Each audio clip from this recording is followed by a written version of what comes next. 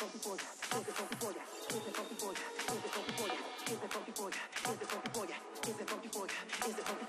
know it's funky for ya, and yeah, it's funky for ya.